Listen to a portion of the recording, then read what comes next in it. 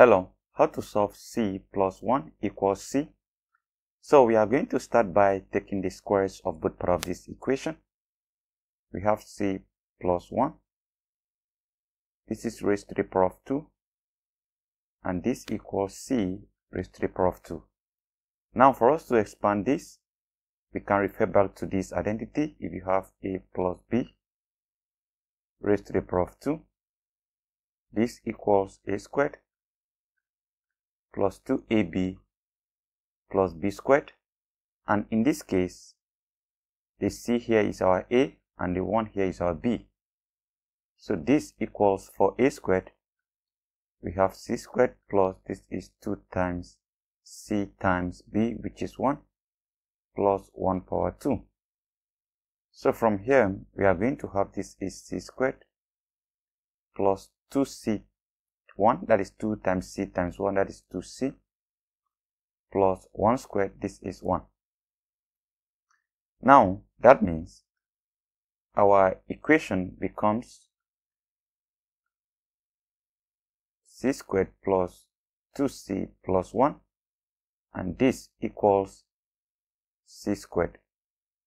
So from here we can have c squared eliminate c squared we have 2c plus 1 equals 0. So from here, we can have 2c equals negative 1. And solving for c, we divide this by 2. We divide this by 2. 2 eliminates 2. And we can have c equals negative 1 over 2. Now, the next thing we are going to do is to check if this particular value of c will satisfy the equation. So we have check. Let's recall the problem. We have c plus 1 equals c. We are going to substitute this for c. We have negative 1 over 2 plus 1 equals negative 1 over 2. There's a question mark here because we are trying to check.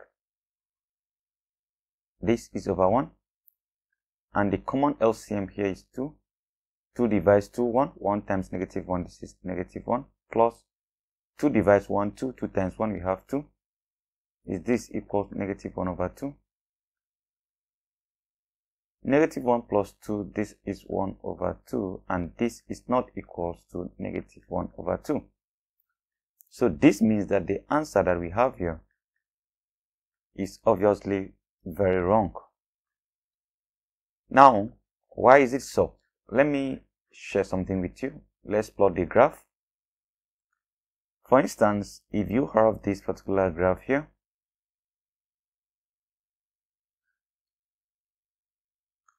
now the graph of c plus 1, remember, let me write it out here, c plus 1 equals c.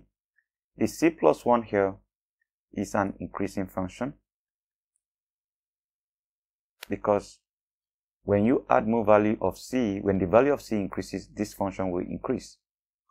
Then this c here is also an increasing function.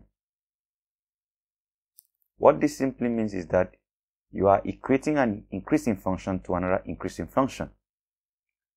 So in this case, you are likely not to have a solution because the graph of an increasing function is like this. Let's assume this is c plus 1. It goes this way. This is c plus 1 the graph of c plus 1 and the graph of c will also be something like that. This is c plus 1 this is also the graph of c.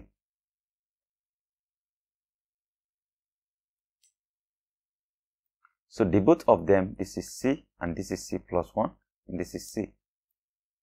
So the both of them are going exponentially like that. There is no meeting point. As long as there is no meeting point between these two lines here that means there will be no solution.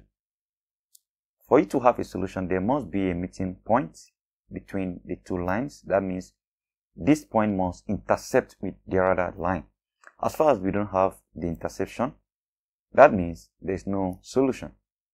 So that is just it. That's what I wanted to explain to you in this particular video. Have you seen it? There is no solution. So that is it. Thank you and see you again. If you have any solution, if you think there's a, there's a solution for this particular equation, Kindly drop the solution in the comment box and let's check it out together. Goodbye.